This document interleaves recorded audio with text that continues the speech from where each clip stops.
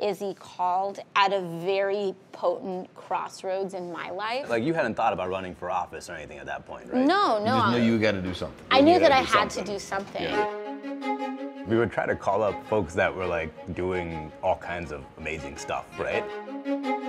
Every conversation would have a very awkward pitch at the end. Oh, it's so great. You're like saving lives, you're fixing stuff in your community. And so, do you want to run for Congress, maybe? We are not treating climate change as though the world is going to end in 10 years.